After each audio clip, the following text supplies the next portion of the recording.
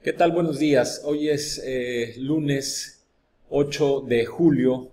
y bueno, pues fue un fin de semana muy dinámico. El día viernes el presidente comenzó la gira eh, por la salud y también fue el banderazo de la campaña de atención a las adicciones.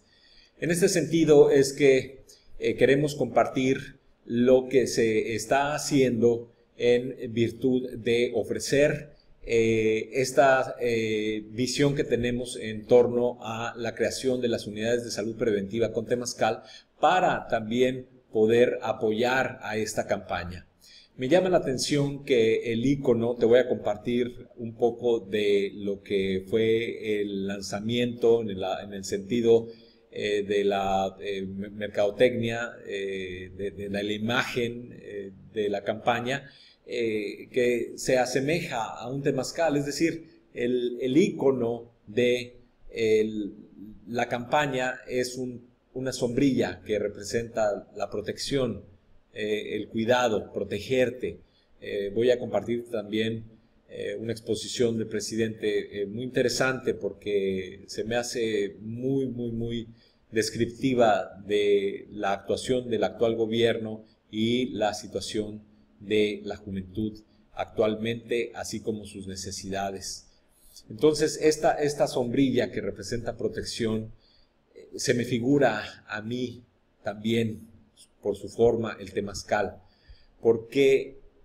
satisface todos los requerimientos que se están planteando desde el gobierno federal para poder atender esta situación de las adicciones. Por otro lado, comenzó la gira en donde va a visitar eh, los 80 hospitales eh, en el territorio nacional y comenzó el fin de semana desde el viernes, viernes, sábado, domingo, le seguimos la pista eh, en siete diferentes hospitales, en siete diferentes instalaciones, en siete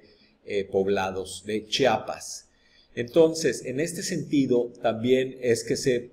va a ofrecer, se está preparando todo este lanzamiento de las unidades de salud preventiva con Temascal para poder darle un, em, eh, para poder coincidir con lo que está manejando el gobierno federal para el nuevo modelo de salud a nivel nacional. Entonces lo que vamos a hacer es que vamos a compartir en el muro del grupo de Facebook de la Asociación Nacional de Terapeutas de Temascal esta eh, serie de eh, rescates que hicimos de las diferentes intervenciones que se estuvieron haciendo, tanto por el director del Instituto Mexicano del Seguro Social, eh, como por el presidente que lo acompañó prácticamente toda la planilla mayor del sector salud en esta gira, que fue una gira muy dinámica, como ya mencioné, y que eh, bueno, pues vamos a estar eh, dándole seguimiento y adecuando nuestro trabajo para poder ser parte de este eh, movimiento y de esta proyección. Vamos adelante.